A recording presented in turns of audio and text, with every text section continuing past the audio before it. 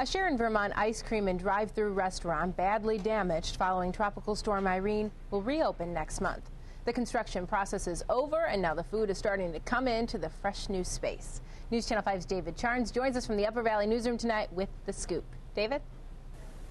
Hey, Bridget, if you've driven down Route 14, you've passed Sandy's Drive-In, a warm weather staple serving more than 50 flavors of ice cream. But last summer, that all changed. Welcome to Sandy's. How may I help you? It's a family affair at Sandy's Drive-In in Sharon, Vermont, as the Aldriches prepare to reopen their landmark restaurant next month. It's been in our family for 38 years. And in other hands before that. When Tropical Storm Irene blew through in August, she flooded the historic ice cream and hamburger shop. Sharon Aldrich says she didn't think she'd reopen. It was in such amazement we couldn't believe.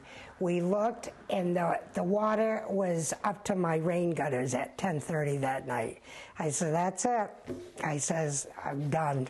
And I think there was like six inches of mud on the floor, and uh, but I had a lot of people, maybe more than that, but it was bad.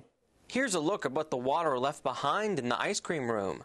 And now, six months later, the brand new appliances and counters are ready for customers.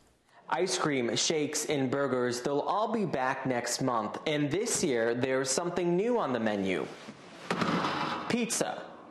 Aldrich says reopening her business is a fresh start. She's borrowed $100,000 from the Small Business Administration, hoping Sandy's Drive In post Irene will be as great as it was before August of last year. They came up here and they said the water's gone and now the mess, be, you know, starts for us. A mess long gone and a family ready to take orders. I'm ready to use everything.